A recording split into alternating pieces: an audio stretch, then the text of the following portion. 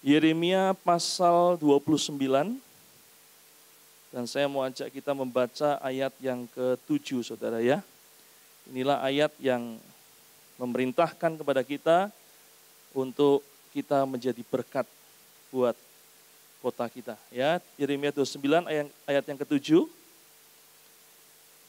Dan saya mau ajak kita untuk membacanya bersama-sama dengan suara keras ya. Yeremia 29 ayat 7, mari baca dengan suara keras 3, 2, 1. Usahakanlah kesejahteraan kota ke mana kamu aku buang. Dan berdoalah untuk kota itu kepada Tuhan.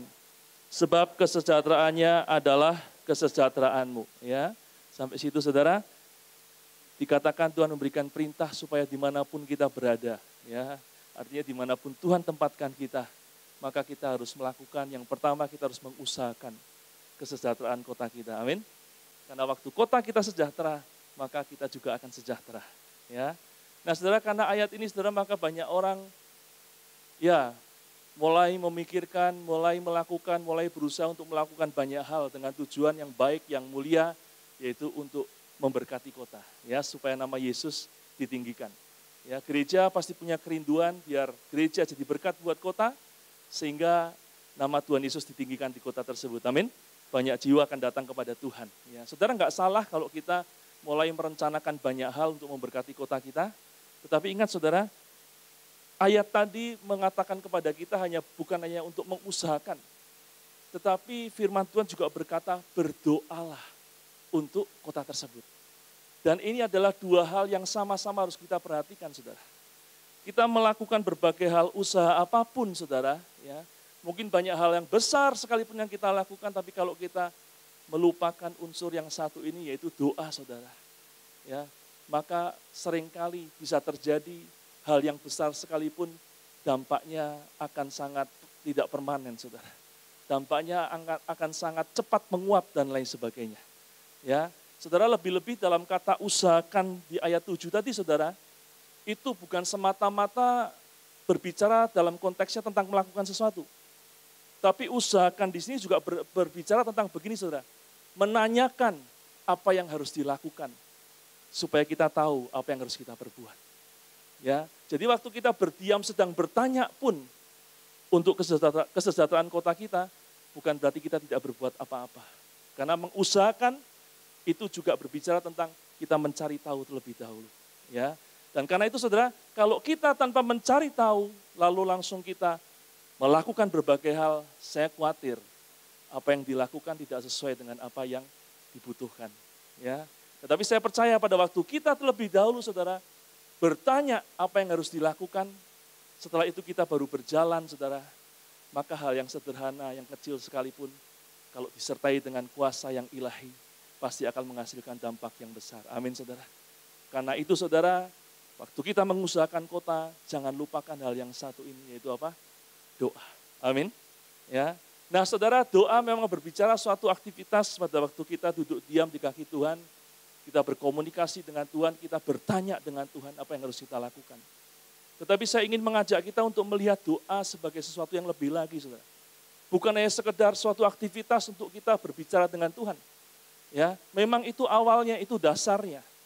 Tetapi ada satu hal yang juga sama penting dalam sebuah doa dan ini juga harus ada dalam kehidupan kita. Bisa tolong ditayangkan PowerPoint-nya?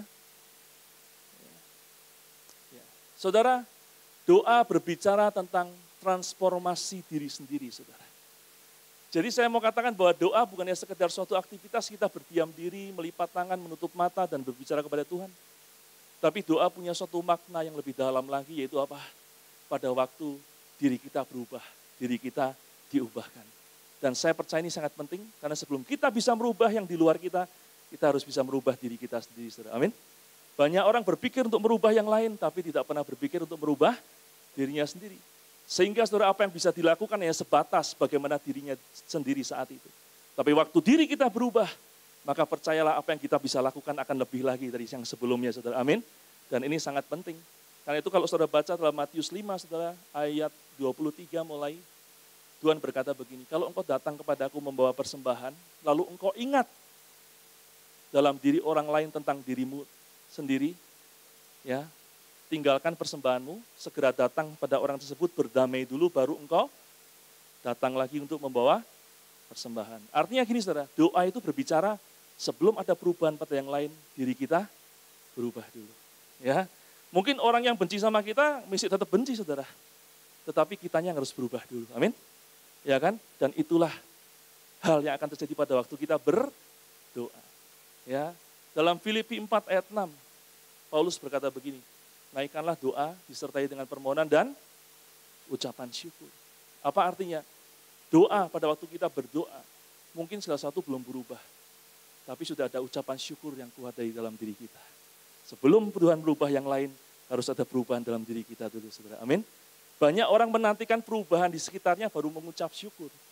Tapi firman Tuhan berkata, doa akan mengubah semuanya itu. Meskipun yang segala sesuatu tidak berubah, tapi diri kita akan berubah. Karena itu saya mau bagikan tentang saudara bahwa uh, boleh ditayangkan ini aja, tidak usah dipindah, nggak apa-apa ya. Saudara bahwa doa yang dimaksud dalam ayat ini dan yang mau kita sama-sama renungkan adalah doa yang membawa transformasi dalam diri sendiri. Sekali lagi memang baik kita melakukan banyak hal untuk kota, tapi jangan lupakan yang satu ini, saudara. Karena kalau yang satu ini kita lakukan, maka dampak yang akan kita berikan bisa jauh lebih besar sekali, saudara. Amin. Karena sering kali ini akan disertai dengan kuasa ilahi. Ya, karena itu saudara, transformasi diri berarti ini, saudara. Ya, Mari kita perhatikan, bukannya apa yang bisa kita lakukan, tapi apakah iman kita bertumbuh? Apakah iman kita bertambah teguh, saudara? Karena saya juga ada jumpai orang-orang yang tadinya melakukan banyak hal buat kota, lakukan hal yang besar. Hari ini kecewa dengan Tuhan, saudara. Ya, apa gunanya kita lakukan hal yang besar pada akhirnya kita sendiri kecewa dengan Tuhan. Karena itu perhatikan saudara, mari kita rubah yang di dalam dulu. Berbicara juga tentang kasih kepada Tuhan yang semakin bertambah. Karena kalau kasih kita kepada Tuhan nggak bertambah, saudara, saya khawatir nanti yang kita lakukan ya untuk diri kita sendiri, untuk kebanggaan kita, saudara. Ya, pengertian akan firman Tuhan kita juga harus bertambah. Jangan sampai kita banyak kegiatan, tapi firman nggak pernah kita perhatikan, sehingga kita nggak pernah bertumbuh dalam firman Tuhan. Ya, saudara, apalagi buah roh, ayo perhatikan. Jangan sampai kita banyak melakukan banyak hal di luar sana, orang-orang yang jauh kita berkati tapi orang-orang yang dekat dengan kita tidak pernah melihat perubahan dalam diri kita, saudara. Ya, ini penting juga untuk kita perhatikan untuk memberkati kota. Perubahan hidup, berbicara tentang perubahan cara hidup, gaya hidup, pola pikir, nilai-nilai hidup, dan lain sebagainya, tujuan hidup, ini harus berubah, saudara. Ya, kalau kita tujuan hidup hanya untuk diri kita sendiri, saudara, apa pun yang kita lakukan pada akhirnya nanti muaranya untuk diri kita, dan itu bisa salah, saudara. Ya, Kesanggupan untuk bayar harga ini juga bukan satu hal yang sudah ada pada kita awalnya saudara. Harus kita bangun saudara. Ya, dan masih banyak hal yang lain saudara. Dan saya mau ajak kita sekali lagi sebelum kita melakukan banyak hal, mari kita juga perhatikan hal yang satu ini. Ya, kenapa saudara? Saya katakan tadi, kalau ini ada dalam diri kita saudara, saya percaya nantinya kita akan melakukan bukan dengan kekuatan sendiri. Amin saudara ada kuasa ilahi yang bekerja dalam diri kita. Ini yang Paulus katakan dalam 2 Korintus 10 ayat 3 sampai 5 Saudara. Dikatakan begini, memang kami masih hidup di dunia, tetapi kami tidak berjuang secara duniawi. Karena senjata kami dalam perjuangan bukanlah senjata duniawi, melainkan senjata yang diperlengkapi dengan kuasa Allah, yang sanggup untuk meruntuhkan benteng-benteng. Kami mematahkan setiap siasat orang dan merubuhkan setiap kubu yang dibangun oleh keangkuhan manusia untuk menentang pengenalan akan Allah. Kami menawan segala pikiran dan menaklukkannya kepada Kristus dan selanjutnya. Waktu kita mentransformasi diri kita terlebih dahulu, ya melalui doa-doa kita, maka percayalah senjata kita bukan lagi senjata dengan kekuatan kita, saudara. Ya, tetapi senjata yang diperlengkapi dengan kuasa ilahi, kuasa Allah, dan ini dampaknya jauh lebih besar. Kita bisa melakukan banyak hal, tetapi dampaknya mungkin terbatas. Tapi waktu kuasa ilahi bekerja, dampaknya bisa melebihi dari apa yang kita lakukan, saudara. Dan ini yang saya pelajari, saya renungkan dari beberapa tokoh dalam Alkitab. Ya, kita akan saksikan banyak tokoh dalam Alkitab yang jadi berkat luar biasa bagi bangsanya, bagi kotanya, saudara. Yusuf. Bagaimana kita tahu lewat Yusuf Mesir diselamatkan dari kelaparan bahkan seluruh bangsa di sekitarnya, saudara. Tapi apakah Yusuf melakukan itu dengan kekuatannya sendiri? Enggak, saudara. Ya, kalau kita lihat Yusuf pada awalnya di kisah di Alkitab, saudara, maka dia hanyalah seorang anak manja, saudara. Ya, yang kerjaannya apa, saudara? Ya, paling hanya mengantarkan makanan buat kakak-kakaknya sambil pakai pakaian yang indah-indah, ya kan? Menyombongkan dirinya, lalu melaporkan kepada papahnya hal-hal apa yang dilakukan oleh saudara-saudaranya, saudara. Ya, sehingga karena itulah saudara-saudaranya benci kepada Yusuf. Ya, dan kalau Yusuf mau melakukan suatu hal pada waktu itu, saudara, saya percaya dampaknya nggak akan besar. Ya, dan karena itu Tuhan mempersiapkan suatu proses buat Yusuf. Dia dibawa ke Mesir dulu saudara. Selama 13 tahun dia harus berjuang di sana. Untuk apa saudara? Mentransformasi dirinya sendiri. Ya, dari seorang anak manja yang suka lapor-lapor saudara, dia dijadikan Tuhan jadi seorang budak. Ya, sehingga saudara itu merubah gaya hidupnya, merubah pola pikirnya mungkin saudara ya merubah kemanjaannya selama ini saudara dan lain sebagainya. Ya, dari orang yang suka melaporkan saudara-saudaranya kepada papahnya, dia jadi orang yang difitnah saudara. Ya kan? Kenapa? Ini untuk merubah sifat dari Yusuf. Dan lain sebagainya saudara. Dia difitnah, dia jebloskan dalam penjara, sampai akhirnya apa saudara? Tuhan bukakan suatu kesempatan untuk dia berjumpa dengan Firaun. Dan saat itulah saudara, waktu Yusuf sudah sudah mengalami transformasi dalam dirinya, maka dampaknya sangat luar biasa. Saudara. Dalam kejadian 41 dikatakan begini saudara, ayat 38. Lalu berkatalah Firaun kepada para pegawainya, mungkinkah kita mendapat orang seperti ini, seorang yang penuh dengan roh Allah. Kata Firaun kepada Yusuf, oleh karena Allah telah memberitahukan semuanya ini kepadamu, tidaklah ada orang yang demikian berakal budi dan bijaksana seperti engkau. Engkaulah menjadi kuasa atas istanaku, dan kepada perintahmu seluruh rakyatku akan taat. Hanya tahta inilah kelebihanku dari padanya, daripadamu. Ya, saudara perhatikan. Satu hal yang menarik, ternyata waktu Yusuf melakukan sesuatu yang luar biasa, saudara. Firaun melihat apa?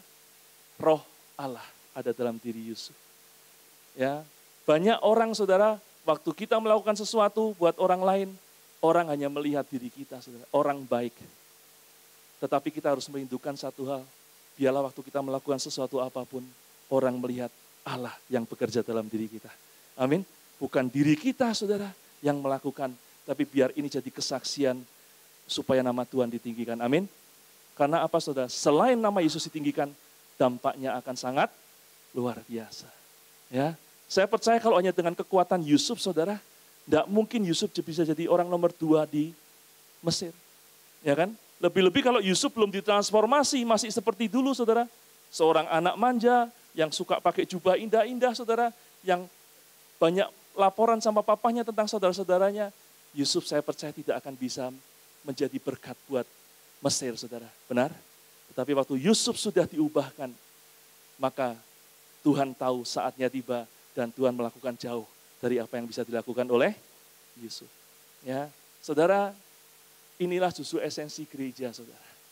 Banyak orang bisa melakukan kegiatan di luar sana. Banyak orang hebat di luar sana. Banyak orang kaya di luar sana dengan harta yang berlimpah-limpah bisa melakukan banyak hal. Tetapi justru ada satu hal yang tidak bisa dilakukan oleh orang di luar sana. Yaitu kuasa Tuhan yang menyertai saudara. Amin. Justru inilah bagian dari gereja. Tapi banyak gereja tidak memperhatikan hal ini. Sehingga hanya berfokus kepada banyak hal di luar sana tanpa berpikir untuk lebih dahulu mengalami transformasi buat diri kita sendiri dulu, saudara. Ya, saya nggak bisa terlalu dalam di sini, saudara, mengingat waktu karena masih banyak hal Musa, saudara. Ya, kita tahu kalau kita baca kejadian dua, saudara, Musa di sana punya keinginan yang baik, dia ingin membela bangsanya. Ya, tetapi karena Musa belum ditransformasi diri sendirinya, saudara, ya pribadinya, maka waktu dia melakukan apa yang menurut dia baik, hasilnya gimana, saudara? Salah, saudara. Waktu lihat ada dua saudaranya berkelahi, saudara, ya dia pisahkan. Lalu esok harinya, waktu dia lihat orang Mesir menganiaya orang Israel, dia bunuh orang Mesir itu, saudara. Ya, dia punya tujuan yang baik untuk memberkati bangsanya, saudara. Tetapi caranya salah. Kenapa, saudara? Karena dia belum mengalami transformasi dalam dirinya sendiri, saudara. Ya, sehingga yang dilakukan hanya berdasarkan apa? kemampuan sendiri, hikmat sendiri, bukan dari Tuhan. Ya, tapi lain setelah Musa mengalami transformasi, saudara. 40 tahun lamanya Tuhan membawa dia ke padang Aram, saudara ya, ke padang gurun, sehingga di sanalah Musa mengalami transformasi. Dan lihat saudara, waktu Tuhan sudah mentransformasi Musa, ya, saudara waktu dia datang kepada Firaun, sebelum Musa ditransformasi, dia lari dari Firaun, saudara. Tetapi waktu Tuhan sudah proses Musa, dan dia sudah mengalami perubahan dalam kehidupannya, dia yang datangi Firaun, saudara. Ya, dan dia berkata apa, saudara? Waktu dia membuat mujizat dengan kuasa Tuhan, ya dalam kejadian keluaran 8 ayat 8 dikatakan, kemudian Firaun memanggil Musa dan Harun serta berkata, berdoalah kepada Tuhan, supaya dijauhkannya kata-kata itu daripadaku dan daripada rakyatku. Maka, akan, maka aku akan membiarkan bangsa itu pergi, supaya mereka mempersembahkan korban kepada Tuhan. Sekali lagi saudara, Firaun melihat apa? Tuhan dalam diri Musa. Ya, saya berdoa berharap biarlah kita jadi berkat dengan orang lain, orang banyak di sekitar kita melihat Tuhan dalam diri kita, saudara. Amin. Sehingga waktu mereka mengalami masalah, mereka akan berkata, tolong berdoalah kepada Tuhanmu untuk kami. Nah waktu itu terjadi saudara, kita bukan hanya sekedar jadi berkat, tapi kita meninggikan nama Tuhan. Bahkan akan banyak kesempatan kita akan banyak bawa jiwa datang kepada Tuhan. Amin saudara. Ya. Lagi saudara. Ya, di Keluaran 8 ayat 19-nya saudara.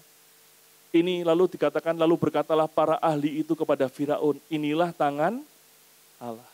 Bukan hanya Firaun yang melihat pekerjaan Tuhan dalam diri Musa, tapi juga ahli-ahlinya semuanya melihat apa? Perbuatan Tuhan dalam diri Musa. Ya, saudara masih ada lagi ya saya nggak mungkin nggak akan sempat bahas satu persatu detail saudara, tapi saya mau katakan aja saudara. Daniel, sebelum dia menjadi berkat buat Babel saudara, maka terlebih dahulu saudara, dia harus melewati suatu fase di mana dia harus dididik. Ya, selama tiga tahun lebih Daniel dan teman-temannya dididik. Dan kita lihat pada waktu Daniel menjalani hal itu, satu hal yang dia lakukan adalah dia tidak mau menajiskan dirinya dengan makanan raja. Amin saudara. Saudara ingat tentang hal itu? Ini berbicara apa saudara? Dia mempersiapkan dirinya terlebih dahulu. Sebelum melakukan banyak hal, kita harus perhatikan yang di dalam diri kita sendiri saudara. Apakah iman kita tambah teguh enggak? Ada buah roh enggak dalam kehidupan kita? Karakter kita berubah enggak? Ya, kepedulian kita kepada kekudusan, kebenaran berubah enggak? Semakin tinggi enggak? Ya, ini penting saudara karena ini akan membawa kuasa dalam diri kita. Ya, memang segala sesuatu Tuhan yang bekerja. Setiap orang bisa melayani. Tetapi bukan berarti segala sesuatu bisa dilakukan dengan semudahnya semau kita, saudara. Tapi tetap kita harus memperhatikan roh Allah yang ada di dalam kita. Ya, Daniel, saudara dalam Daniel 27, 2 ayat 47, Raja berkata kepada Daniel, sesungguhnya lah Allahmu itu Allah yang mengatasi segala Allah, yang berkuasa atas segala raja, dan yang menyingkapkan apa? Rahasia-rahasia dan seterusnya. Saudara, waktu Raja melihat Allah dalam diri Daniel dan teman-temannya, barulah mereka terbuka kesempatan bagi mereka untuk jadi berkat buat kota dan bangsa. Saudara. Ya, dan waktu Tuhan yang membukakan pintu, maka Tuhan membukakan pintu yang luar biasa bagi kita. Amin. Bukan sekedar hal yang hal biasa yang bisa kita lakukan sendiri, saudara. Ya, karena itu penting untuk kita memperhatikan hal ini. Ya. Lalu juga SMA. Siapa SMA, saudara? Sadrak, Mesak, dan Abednego. Ya, Saudara, sama seperti Daniel, Sadrak, Mesak, dan Abednego pun harus menghadapi ujian dulu. Sebelum Tuhan membukakan pintu untuk mereka jadi berkat luar biasa buat kota, buat bangsa mereka. Mereka harus lewat dapur api terlebih dahulu, saudara. Dan itu saya percaya hanya di, bisa dilewati oleh orang-orang yang sudah mengalami transformasi dalam dirinya. Amin. Iman yang bertumbuh, kasih kepada Tuhan yang bertumbuh, saudara kepedulian akan firman yang bertumbuh, mati terhadap diri sendiri dan lain sebagainya. Dan itu perlu dipersiapkan supaya apa? Pada waktu kita mengalami proses saudara, kita bisa melaluinya dan Tuhan pasti akan bukakan pintu. Amin saudara. Ya, waktu Sadra Mesak dan Abednego saudara berhasil dalam hal ini, berkatalah Nebukadnezar sekali lagi. Terpujilah Allahnya Sadrak, Mesak dan Abednego. Ya, Ia telah mengutus malaikat-malaikatnya dan melepaskan hamba-hambanya yang telah menaruh percaya kepadanya dan yang seterusnya saudara. Ya, dan yang luar biasa adalah dikatakan begini, sebab itu aku mengeluarkan perintah bahwa setiap orang dari bangsa, suku bangsa atau bangsa mana pun ia yang mengucapkan penghinaan terhadap Allahnya Sadrak, Mesak, dan Abednego akan dipenggal-penggal dan rumahnya akan dirobohkan menjadi timbunan puing. Karena tidak ada Allah lain yang melepaskan secara demikian itu dan lain sebagainya, saudara. Ya, dari tiga contoh-contoh tadi kita melihat, saudara, mereka yang membuat sejarah besar yang ditulis dalam Alkitab, mereka tidak serta mereka merta melakukan sesuatu hal lewat usaha mereka, tapi mereka harus melewati satu proses dulu, saudara. Ya, untuk apa? Mengalami transformasi diri terlebih dahulu. Dan kita juga melihat hal-hal yang besar dilakukan yang dilakukan oleh tokoh-tokoh tadi, saudara. Semuanya bukan timbul dari dirinya sendiri. Tapi waktu Allah yang membukakan pintu. Ya, karena itu saya tadi katakan, saya mau mengajak kita untuk melihat memberkati kota dari sisi yang lain. Saya tidak berkata berarti kalau gitu sekarang kita tidak usah melakukan apa-apa, enggak saudara. Tapi mari kita lakukan apa yang sudah Tuhan taruh dalam diri kita, tapi jangan lupakan untuk terus membangun diri kita sendiri. Amin. Karena waktu diri kita berubah, maka sesuatu yang bisa kita lakukan juga akan semakin besar nilainya, saudara. Amin. Waktu diri kita semakin ditransformasi, iman kita semakin teguh, kasih kepada Tuhan semakin teguh, saudara, dan lain sebagainya. Maka saya percaya dampak yang kita hasilkan akan semakin besar. Dan terlebih lagi, saudara, waktu kita bisa dipercaya hal yang besar, dan Tuhan bukakan pintu, kita bisa membawa dampak yang sering kali di luar perkiraan kita. Ya, Saudara, karena kalau kita mau melakukan hal yang besar, saudara, percayalah, harus Tuhan yang bukakan pintu. Amin. Saya bukan mengecilkan setiap kita siapa pun di tempat ini. Setiap kita, saudara, bahkan saudara yang baru kenal Yesus sekalipun, saudara bisa melakukan apa pun bagi Tuhan saat ini. Amin. Tapi tidak segala sesuatu bisa dilakukan dengan mudah, saudara. Banyak hal yang perlu persiapan yang harus kita jalani terlebih dahulu. Ya, karena itu sekali lagi, kalau kita mau serius, saudara serius, mau jadi berkat buat kota, ingin membawa perubahan, ingin membawa dampak, saudara. Maka sama seperti Yusuf, dia butuh 13 tahun waktu untuk diproses di Mesir. Sama seperti Musa butuh 40 tahun di padang gurun, saudara, ya sebelum membawa bangsa Israel keluar dari Mesir. Sama seperti Sadrak, Mesak, Abednego, Daniel memerlukan waktu tiga tahun lebih di Babel, saudara maka saudara pun juga perlu hal yang sama. Kalau saudara mau serius jadi berkat buat kota. Amin. Ya, dan di mana tempat itu saudara? Enggak jauh-jauh saudara. Saya mau mengajak kita konsentrasi ke PK, MK, dan komunitas kita. Ya, karena di tempat itulah waktu kita terus bertekun di dalamnya saudara. Akan ada transformasi dalam diri kita. Amin. Ya, sering kali orang mungkin melupakan hal-hal seperti ini saudara. Ya, saya di kantor pusat, saudara, salah satu yang jadi tanggung jawab saya adalah peka, saudara.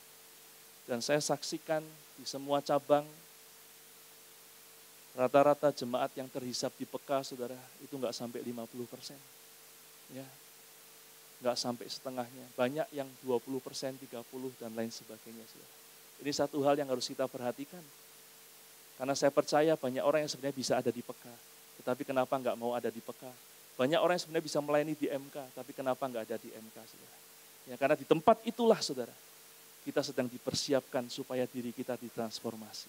Sehingga Allah bisa bekerja dengan lebih bebas dalam diri kita, dan kita mempersiapkan diri supaya kita mengalami perubahan diri kita terlebih dahulu. Ya. Dan yang kedua yang saya mau saya katakan begini, saudara. Waktu kita ada di peka, saudara, mungkin orang berkata bahwa kita tidak melakukan apa-apa. Tapi bukan itu yang terjadi, saudara. Karena sama seperti Yusuf, sebelum dia jadi berkat buat Mesir, saudara, dia sudah jadi berkat terlebih dahulu di rumah Potifar. Ya, dia sudah jadi berkat terlebih dahulu, saudara, di dalam penjara di mana dia dipenjarakan. Ya, artinya waktu Yusuf dipersiapkan, bukan dia diam saja dan tidak berbuat sesuatu apa, saudara. Sama, seperti waktu kita ada di peka, bukan berarti kita tidak ngapa-ngapain.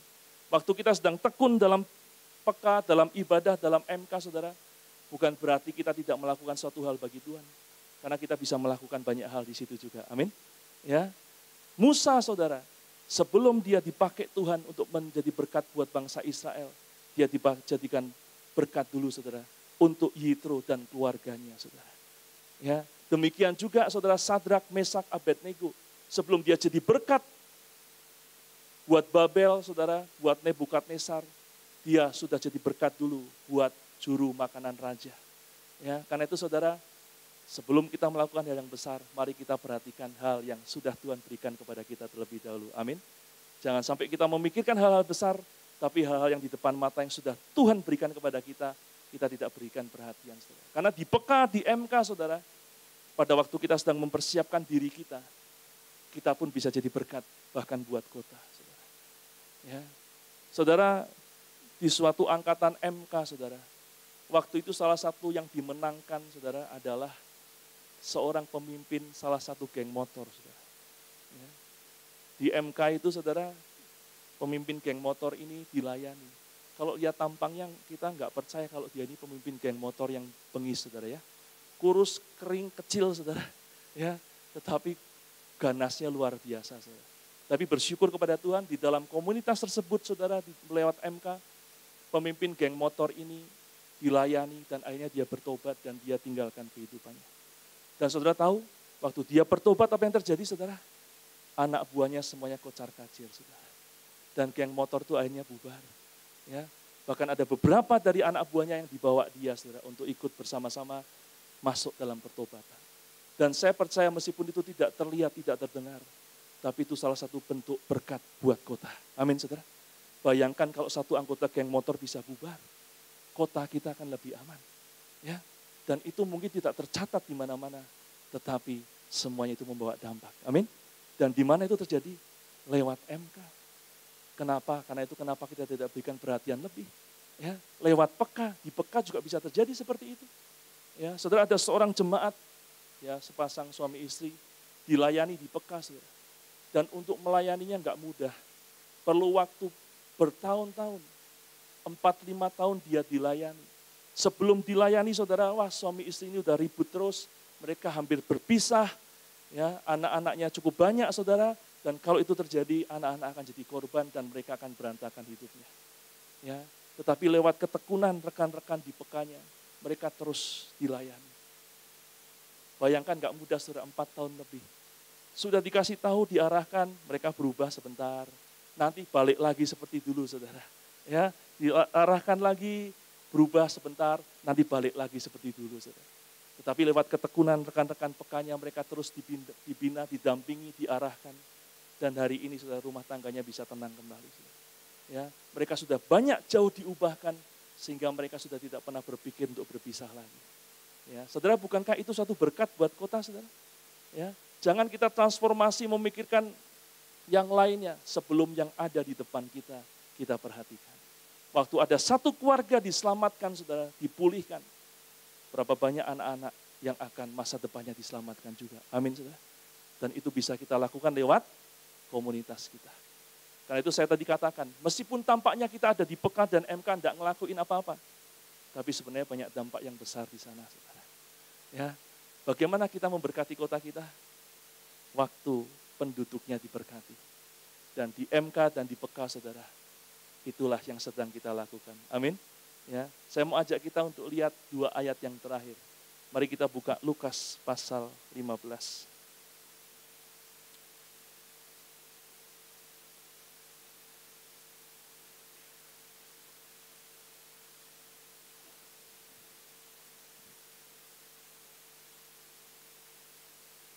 Ayat yang pertama, perikomnya berkata perumpamaan tentang domba yang hilang.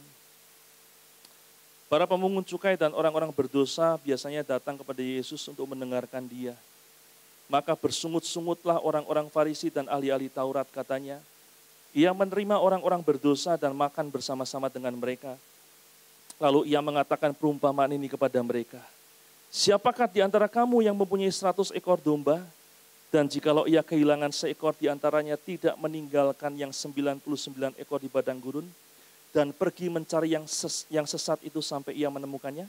Dan kalau ia telah menemukannya, ia meletakkannya di atas bahunya dengan gembira.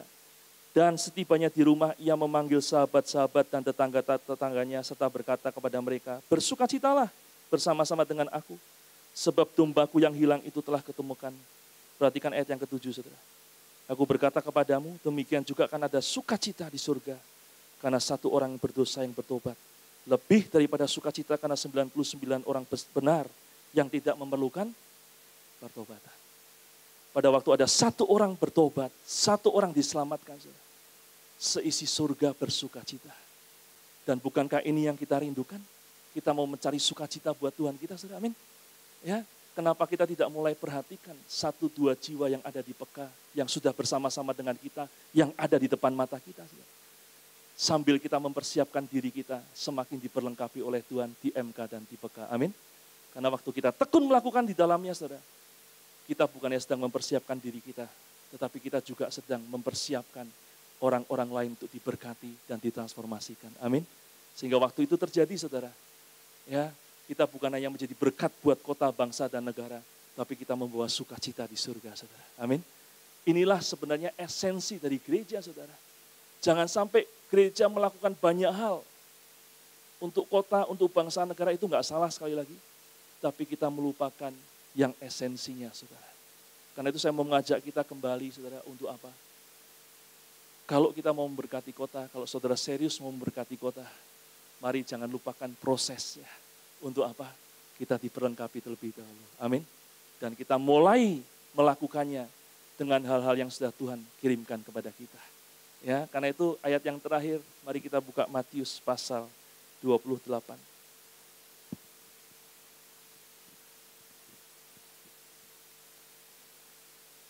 Ayat 16, firman Tuhan berkata begini, saudara.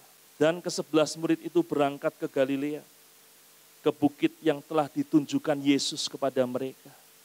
Ketika melihat dia, mereka menyembahnya, tetapi berapa orang ragu-ragu. Yesus mendekati mereka dan berkata, Kepadaku telah diberikan segala kuasa di surga dan di bumi. Karena itu pergilah, jadikanlah semua bangsa muridku dan baptislah mereka dalam nama Bapa dan Anak dan Roh Kudus. Dan ajarlah mereka melakukan segala sesuatu yang telah kuperintahkan kepadamu dan ketahuilah aku menyertai kamu senantiasa sampai kepada akhir zaman. Saudara, ini saya percaya kita sudah sering kali baca, saudara. tapi harus kita renungkan, saudara. Kenapa amanat agung menekankan, Tuhan menekankan supaya kita menjadikan segala bangsa murid terlebih dahulu, saudara? Jawabannya sederhana, karena waktu seorang jadi murid, saudara, ya mereka terus bertumbuh, mengalami transformasi, akan semakin banyak hal yang bisa mereka lakukan. Amin. Dan dampaknya akan sangat besar. Apa yang dilakukan jauh dari apa yang bisa dilakukan manusia. Karena sekali lagi ada kuasa ilahi yang bekerja di dalamnya. Dan kalau setiap apa anak Tuhan, gereja Tuhan berkomitmen melakukan hal ini untuk menjadikan setiap bangsa, setiap jiwa murid Kristus, bayangkan akan banyak sekali orang-orang transformer-transformer yang dipersiapkan untuk bangsa dan negara dan kota kita. Amin, saudara. Karena itu saya kenapa tadi saya berkata, mari kita kembali, saudara. Ya, kalau gereja serius mau memberkati kota, lakukan dulu yang satu ini. Mari kita persiapkan diri kita di komunitas yang sudah disediakan oleh gereja, di mana saudara ada. Amin. Di gereja kita ada peka, di gereja kita ada MK, Ya, di Budi ada apa lagi? Woman Solution misalnya, ya, ada Genio dan lain sebagainya. Kenapa kita tidak masuk di situ dan mempersiapkan diri? Seperti Yusuf dipersiapkan 13 tahun lamanya. Masuk di penjara bahkan saudara. Tampaknya Yusuf tidak melakukan apa-apa. Tampaknya Yusuf gagal total. Tapi justru itulah permulaan dia melakukan perkara yang besar. Ya, dan kalau ini tekun kita lakukan saudara, saya percaya pada waktunya kita akan melakukan jauh dari apa yang kita perkirakan. Amin saudara. Ya, karena itu di awal tadi saya katakan saya mau mengajak kita untuk melihat dari sisi yang lain tentang memberkati kota ini. Sekali lagi saya sepakat dengan segala sesuatu yang sudah disampaikan di tempat ini yang mengajak kita untuk melakukan sesuatu buat kota. Ya, mungkin buat anak jalanan, mungkin buat panti asuhan dan lain sebagainya. Tidak apa-apa saudara, lakukan. Tetapi saya juga mau mengajak begini, jangan lupakan untuk mempersiapkan diri kita juga. Amin. Waktu diri kita diubahkan, maka yang bisa kita lakukan juga akan berubah, saudara. Waktu kita diri kita bertambah dalam dalam kasih kepada Tuhan, pengenalan akan firman, maka dampaknya juga akan jauh lebih dalam yang bisa kita hasilkan. Ya, dan karena itu saya mengajak kita untuk bertekun dalam komunitas, dalam peka, MK, ibadah raya, dan segala sesuatu yang ada di tempat ini. Ya, biar Tuhan memberkati kita semua.